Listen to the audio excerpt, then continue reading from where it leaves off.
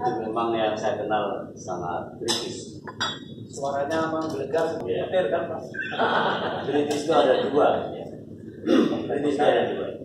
Kritis cara berpikir seperti tadi. Kritis yang kedua, kritis kantong. Karena kritis kantong ada di kritis. Dan itu ada urusan-urusan yang kadang-kadang belum selesai. Gak apa-apa. Itu politisi itu juga politisi gitu loh. Tapi ya berbaju wartawan dan seterusnya. Gak apa-apa itu namanya hidup.